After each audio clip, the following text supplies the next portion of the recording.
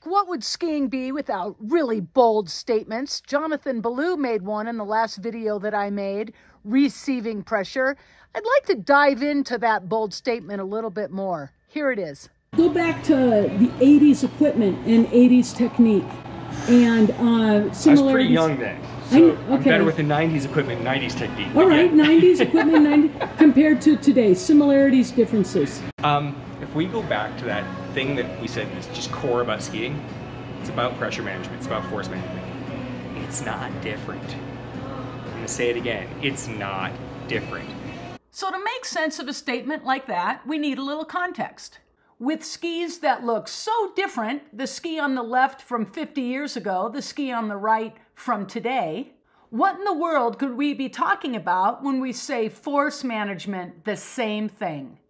Well, it's because there's four things that remain the same when we're considering skis from 50 years ago and today. That's gravity, physics, camber, and side cut. So, what is camber, you may ask? It's that built in arc to the base of the ski, that arc that exists when the ski is at rest. When we press down on that camber, or when pressure is applied, we flatten the ski or then bend the ski into reverse camber. Bending that ski into reverse camber builds energy, and when bent, that ski wants to rebound back to its original resting state of camber. So that's one variable that hasn't changed from the 70s, 80s to today camber. The next variable is side cut. So, what is that? So, side cut is that hourglass shape of the ski where it's wider at the tip and the tail than it is at the waist of the ski where it's narrowest. And believe it or not, that C4 Fischer on the left has side cut. So, whether we're dealing with the 70s, 80s, 90s, 2000s, we're dealing with pressure management, force management. The interesting distinction becomes where and how is the force applied in the turn. So, in the old days, gravity helped us from the middle to the end of the turn to bend that really long ski with very little side cut. And back in the old days, a lot happened at the end of the turn. There could be a lot of bend of the ski, so a bunch of rebound that needed to be managed. Or because the ski was so straight and long, we needed to make a really big step to get out of the turn. And those movement patterns are different today because the skis can be so much more efficient, which also relates to the shape of the turn. Because in the past, we made really more of a fishhook shape of a turn with the pressure and heavy edging towards the end of the turn. These days, we are able to shape a complete arc from the top of the turn through the finish of the turn. And due to the materials of these skis that we're on today and the greater increased side cut, we're able to bend a deeper arc if you're skillful enough. But really, one of the most significant differences between the old skis and new skis today is how we're able to establish edge and pressure through our movements at the top of the turn, where we're able to use gravity in our favor, as opposed to having the gravity and forces build up so significantly against us at the end of the turn. So you're recognizing the theme here forces and management, whether it's the old skis or new skis. And I made reference to this in an article I wrote 20 years ago for the professional skier. So, to set the scene a little bit, back in 2005, when I wrote this article, people were still becoming accustomed to the new equipment. And I was making the point that pressure management was key. We just had to shift how we went about it and what we knew about it. For example, that big extension move that we made at the end of the turn, that pressure control mechanism that we used, we had to do that to get out of the old turn and into the new turn. But what was acceptable and necessary technique on the old equipment was not necessary on the new equipment. We needed to learn new movement patterns, new ways to control pressure and the forces underfoot. So here's my point camber and side cut are fact. They existed in the 70s and 80s, and they exist today. In other words, to Jonathan's point, if managing pressure and forces are core to skiing, then that makes camber and side cut core to skiing. Being skillful at managing side cut and camber, that's what it's always been about.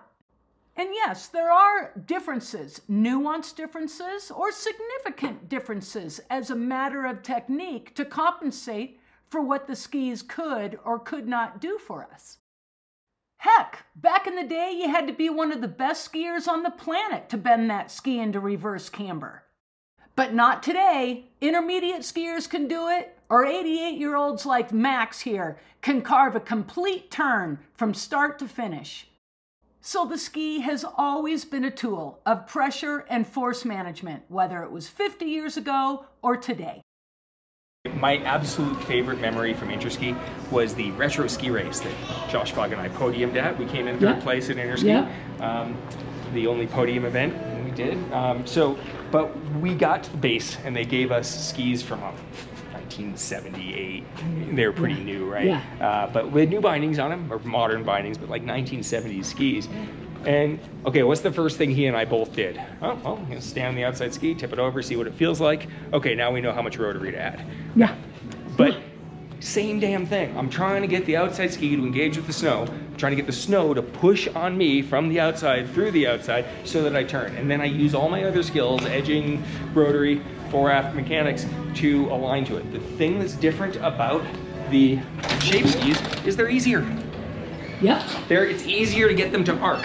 You have more options on the newer ski than you do on the older ski, but the basic mechanics, the basic concept that I'm trying to get the snow to push on my outside ski and align to receive that force and then manipulate it, it's the same. How there's daylight here. Okay? Uh, but the tip and tail are biting the snow. When you apply pressure to this, the middle of the ski, there, there's, there's contact with the snow throughout, and this bend scribes, shapes an arc. Got that? Okay. So um, the the tip, the tip. You know, when you apply pressure to that ski tip and pressure underfoot, that ski tip is going to bend. And the whole idea is to bend as deep or tight an arc as you can. It's one thing to to roll the ski over on edge with no pressure, right? The you're you're not going to have as much effect. You apply a little more pressure. Now we're going to start bending an arc. Apply more pressure.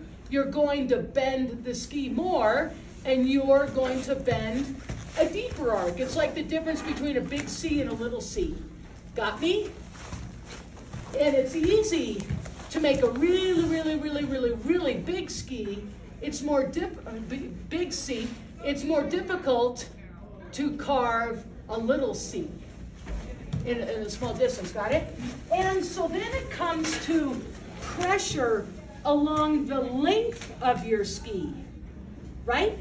If you're always in the back seat, if you're always back here, you're going to be applying pressure onto this tail.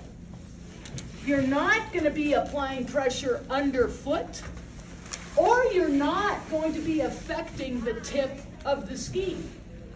And it's the tip of the ski with the shape of the ski that draws you through that turn. That's, that's one way the ski works. Another, th- another characteristic of the ski um, is camber. So camber is when you put the two skis together and you see daylight here, right? Now you saw how that camber worked when the ski was rolled up on edge, right? When you pressure, apply pressure, then you can get a kind of a bounce, a bounce effect. The, the way the ski is, is bent, when you put pressure on that, it can help, it generates energy. Okay, generates energy, and that, that energy can be propelling, okay?